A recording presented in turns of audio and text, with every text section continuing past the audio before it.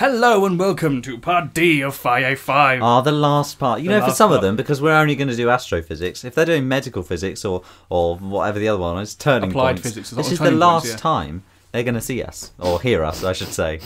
You will never see us. But wait a minute, they could always subscribe and look at all our other videos. Ah, a little See what bit I did there? Cheeky little It was a- shameless self it was shameless, is what it was. Shameless. Okay, let's just get straight into it. Uh, this is uh, the final part of the physics A level, as we said, and we're doing ideal gases. I'm Will Carne. And I'm Connor Durkin still. Uh, but to be honest, you should probably know that by now. Anyway, as per usual, if you have any questions, you're very welcome to ask in the comments or on Facebook, Twitter, or if you're being really adventurous, Google Plus. Yeah, no chance we're going to answer that. Anyway, onwards. Internal energy and temperature. The internal energy of an object is the energy of its molecules due to their individual move- movements and positions. The internal energy is due to its temperature, is its thermal energy, but there may be other factors to the total internal energy, like magnetism. The internal energy of an object changes due to heat or energy transfer by radiation to or from the object, or work done on or by the object, including that by electricity. A molecule is the smallest particle of a pure substance that is characteristic of that substance. Around now, we should tell you about gases, liquids, and solids, but as you've been doing that since year 7, we're going to move swiftly, Swiftly on. and efficiently, the internal energy of an object defined is the sum of the random distribution of the kinetic and potential energies of its molecules. On to temperature, which in scientific terms is the degree of hotness Singing of hat, the hat, object. hat. There are two scales you need to care about in this measurement for this hotness. Not Fahrenheit, you old fashioned or American so and so's. The Celsius scale of temperature in degrees C, defined in terms of 0 degrees C being the temperature of pure melting ice, and 100 degrees C being the temperature of steam at standard atmospheric atmospheric pressure. The absolute scale of temperature is Kelvin, which is defined in terms of absolute zero. Okay, with 0K, which is the lowest possible temperature, not to be confused with 4K, which is the highest commercially available resolution for TVs. Not anymore, it's actually 8K now. Is it now? Yeah, Oh, they've doubled well, it before. We've, we've uh, outdated ourselves. and the already. triple point of water, 273.16 Kelvin, where ice, water, and water vapor can coexist in thermodynamic all coexist equilibrium. in peace. Moving onwards, to convert from Celsius, you add two, add on 273.15 to get Kelvin, but adding 273 will just be fine for most. Now we've brushed past the lowest temperature in the union, in the universe. in the Union. yes. We'll absolute zero. So coming back to it, an object at absolute zero has minimum internal te- energy, regardless of the substances the That means object that consists of. none of its particles are moving in any way at Yeah. all. If you want to know where the universe is coldest, we've actually been there. So go check out the holiday part two. Taking the Swiss. The Swiss cheese. Specific heat capacity now. Lovely little stuff. Changing the temperature of an object depends on its mass, energy, uh, energy supplied to it, and the substance it's made from, obviously the material. Which brings us nicely on to the specific heat capacity. Now for the definition with Mr. Will Carne. The specific heat capacity, C, of a substance is the energy needed to raise the temperature of a unit mass of the substance by 1 Kelvin without a change of state. The unit is joule per kilogram per Kelvin. It has no name, so we shall call it Jeffrey. Jeffrey. Jeffrey. Jeffrey, right, okay, for water, it is 4,200, which you should probably know, along with these other helpful additions. Now, to raise the temperature of a, ma- of a temperature of mass m of a substance from temperature T1 to T2, the energy needed delta Q is given by mc multiplied by in brackets T2 minus T1. Yeah, so the change in temperature. There are obviously ways to measure specific heat capacity in li- liquids and gases, so have a quick glance at that in the textbook so you're familiar if it comes up, but we're not mentioning it because it's so long and Yeah, it's just just look at the textbook. You don't need us for everything. Change of state now, not like political systems or you know the welfare state being dismantled. As you probably know, there are three states a substance can be in solid, liquid, and vapor or Uh, gas. three or four. Uh, when a solid is heating at, at its melting point, its atoms vibrate so much that they break free from one another. The energy needed to melt a solid at its melting point is referred to as its latent heat of fusion. Ooh, lovely word. When a liquid is heated at its boiling point, the molecules gain enough kinetic energy to overcome the bonds that hold them close together, as with other The energy needed to vaporize a liquid is referred to as its latent heat of vaporization. The specific latent heat of a substance is therefore the energy required to change the state of a unit mass without change of temperature. The energy Q is given by the specific latent heat multiplied by the mass with units joules per kilogram. One last little little thing with temperature time graphs, there will be a constant temperature while the substance is undergoing a change of state. So do remember that little flat bit, little plateau on the So graph. latent when state changes and heat capacity when there's a temperature change. Lovely stuff. The experimental gas laws now. Now there are three experimental gas laws: Boyle's, Charles's, and the pressure one, Yeah. which was not called Jeffrey. Yeah, uh, Boyle's law states that for a fixed mass of gas at constant temperature, PV equals a constant, where P is the gas pressure and V is the gas volume. Charles's law states that the at a, at a constant pressure V Constant, oh, it's a constant pressure. V over T equals a constant, where V again is the gas volume and T is the temperature in Kelvin. Yes, and finally the pressure law, Not which Jeffrey. states that P over T equals a constant, where P is the pressure and T is the temperature, again in Kelvin. All in kelvins here. The ideal gas law. As you can imagine, when you're talking about gas, you're talking about the collective average of molecules that make up gases slash liquids slash solids. Now, a man who s- sounds like avocado, Mr. Avogadro, if you're a chemist, you'll know that he's amazing, hypothesized that equal volumes of gases at the same temperature and pressure contain an equal number of molecules. He came up with a constant, which he named the guacamole constant. Funnily enough, that's not what he actually did. No, he didn't call it that at all. Na, the Avogadro constant, defined as the number of atoms in exactly 12 grams of carbon. 12. The 12 bit, not the 14. Radioactive though, so remember that. To four to four significant figures, it is six point zero two three times ten to the minus. T- so sorry, no, six point zero two three times ten to the twenty three. No minus. No minus. No minus. If you take away anything, you'll be forty six figures out. A substance containing Na of identical particles, molecules, or atoms is defined as one as one mole of that substance, which is all chemistry here. It's lovely stuff. The number of moles in a certain quantity of substances is its molarity, the unit being mole. M O L. Mol. Mole. Mol. Mole, mole, mole, mole. Edna. Is that film too dated to make references to now? And guest. And a guess. The molar mass of a substance is the mass that one mole of a substance would have, and it's equal to its relative atomic or relative molecular mass in grams. So the number of moles in a substance is usually given by n, the number of molecules given by n multiplied by the Av- Avogadro's constant. So big N equals n multiplied by Na. Yeah. Yeah, it's on there somewhere. You can combine the three earlier laws to get the ultimate equation. PV over T equals a constant for a fixed mass of ideal gas. Putting the putting values for one mole of an ideal gas at room temperature and atmospheric pressure, you get the constant 8.31 joules per Kelvin per mole. This is the I. This is the molar gas constant R.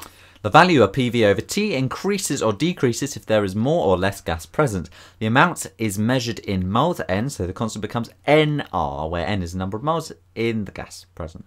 So you get PV equals nRT. This is the ideal gas equation, where V is the volume of gas, P is the pressure, and temperature, T is in kelvins. Kelvin, lovely stuff. This equation is for ideal gas and it works well as an approximation for gases at low pressure and fairly high temperatures. Now, a variation of this is of this equation is PV equals NKT, which is the equation of the state of an ideal gas where the Boltzmann constant K equals R over Na. Well, you know what R is, you know what Na is, so I'm assuming you can get K. And N is the number of molecules, big N. Big N, little N cardboard. But a few helpful reminders for this topic. Always use Kelvin. There are 1,000 litres in a metre cubed. Be careful of switches from kilograms to grams, etc. And one mole of gas at room temperature and pressure, uh, room temperature and atmospheric pressure rather, which is about 101 kilopascals, takes up around 0.0224 metres cubed. Just a little, little, I like that. I like that little helpful hint you leave in there. 24 decimeters cubed if you're a chemist. Decimeters, get Decimeters, out. We don't. We decimeters. do. We do not speak of decimeters It's in physics. It's still in the same u- measure of units. No, it's just one you no. don't like. 'cause Leave. You're weird. You're Leave. a maths person. Leave. On to not leave. kinetic theory of gases, part one. We've separated this into, I think, three parts. Because it's l- so lovely. God, but we've Oh. done it all, and you just need to be aware of I it. So sit back and all. relax. I Go. The gas laws can be explained by assuming the gas consists of point molecules moving about at random, continually colliding with the container walls. Each impact causes a force on the container. The force of many impacts is the cause of the pressure of the gas on the container walls. The molecules in an ideal gas have a continuous spread of speeds. Individual molecules' speeds change when they collide with other gas molecules, but the distribution stays the same provided there's no temperature change. The root mean square speed of the molecules, where C1, C2, etc., represent the represent the speed of the individual individual molecules, and n is the number of molecules in the gas. If you increase the temperature, the molecules move faster on average, so the root mean square speed increases. the distribution curve becomes flatter and broader, but overall the area under the curve should remain exactly the same. The kinetic energy, the kinetic theory equation for an ideal gas consisting of n identical molecules, each of mass m, in a container volume v, has pressure given by PV equals a third n m, and then the root mean square speed all squared. Oh, so which is it's kind of just the mean squared. Yeah, it's, it's, it's really weird. To get this equation, you have to make several assumptions. One, that the molecules are point molecules, their volume negligible to the volume of the container. Two, they do not attract each other. Three, they move about in continual random motion. Four, any collisions are elastic. And lastly, each collision with the container surface is of much shorter duration than the time between impacts. Now, the spec says that you need to be aware of the derivation of this formula. So, here goes. Pay attention, please. right, are you ready for this, Connor? I shall only say this once. Are you ready? Yeah. Okay. So this uh, this is all to do with a box, and it has dimensions LX by LY by LZ. It can be cardboard, it can be plastic, whatever you want. It's a box. It's a lovely box. A gas in the box with molecules with velocities Cn, where U, V, and W are components of the velocity in the x, y, and z directions, respectively. The speed of the individual yellow molecules squared, uh, C1 squared equals U1 squared plus V1 squared plus W1 squared.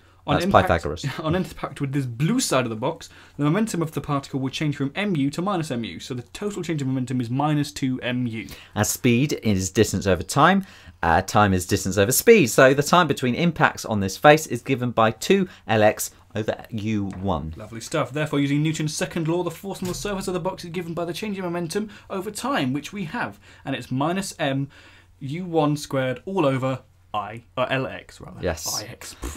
So, due to Newton's third law, the force on the particle is equal and opposite, so it must, uh, so it is, sorry, plus m u1 squared all over lx. Now, pressure is force divided by area, by the area, of the blue side being ix multiplied by iy. lx Oh, multiplied by ly. Right, L. You know, replace everything I say with L's. There we go. Yeah, there So aren't the- any i's in this I entire don't thing. know. So the pressure is given by mu1 squared over lx ly lz or mu1 squared over the v- volume of the box. Yes, see, it's turned into the volume, because there was already an Volume. lx there. Isn't that Volume. cheeky? Cheeky Now, volume. for n molecules in the box, all moving at different velocities, the total pressure is the sum of the individual pressures, so P1 plus P2, etc., all the way to Pn. We know what pressures each of uh, what the pressures each of these particles exert in the x-plane, so sub that in. And their mass and the box volume is constant, so take that, yeah. Next step is the clever bit. The sum of the velocity divided by the number of particles n will give the mean of the particle's speed squared. Yes, indeed. now, to get n from stuff. nowhere, uh, yeah, basically, we plucked n from nowhere, but we do need it. Air. So we multiply by n over n, which is just 1. So we can multiply things by 1 because they're the same.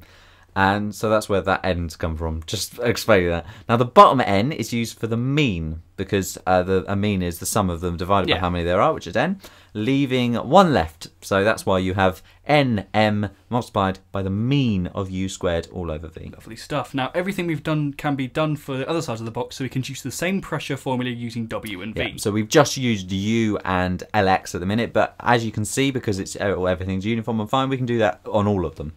Therefore, adding them together, 3p equals the sum of the means of the speeds squared all over v. So you take the p over in this equation, and voila. We're going to sub that for the root mean square speed, which unhelpfully reads backwards to what it is. You have to square the mean then root. It's yeah, root mean square. Square, square the then mean then root. Yeah, just read it backwards. It's fine. Read your entire physics paper backwards. It'll make you much better at it. Yeah, you might as well actually. Yeah, do, do it YOLO. the back, you know, long answer questions, lovely. But using what we've just said and the equation for c squared at the top of the slide, and you can gain the final equation PV equals nm multiplied by CRMS squared over three. I can't believe you got to read the final equation. I did get to read the final I'm equation. so I'm so You're so jealous. You Uh, oh, oh, there's another bit. The last bit, kinetic theory of gases proof two. Uh, basically, the last bit involves finding an expression for kinetic energy. Kinetic energy, half mv squared, for one molecule can be found by dividing the total kinetic energies of all the molecules and dividing by how many there are, obviously.